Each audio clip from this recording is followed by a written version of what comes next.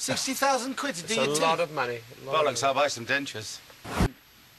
Both Lynne and Rod won't even try. Well, Christopher won't, 'cause he'll take it like a game. Yeah.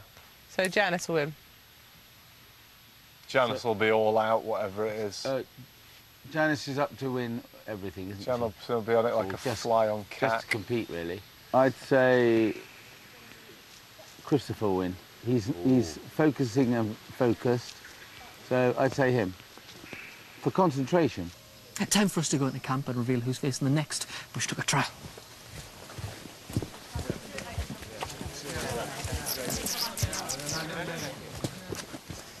Morning. Morning. morning Oh, nice look. I await my trial.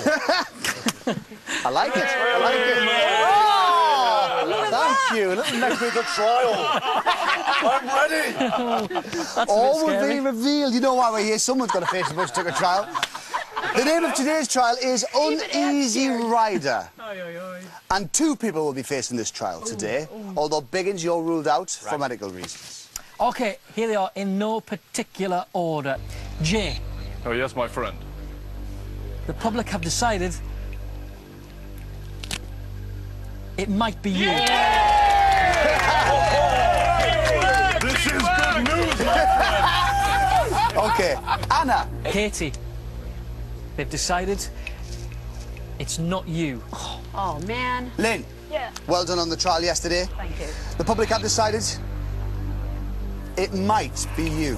Oh. All right. Cerys, It might be you. So it's between Jay, Lynne, and Janice. the public have decided the two people they want to face Uneasy Rider is Jay and Janice.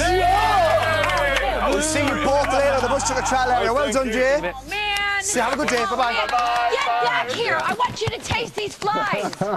oh, man. Nice one. Oh, man. We'll do it, Janice. We'll sting it. Got your wish, love. Yeah. Man. My antlers are oh, screwed, but we will be victorious. Oh, man. Time for a snack. Oh, man. No, it's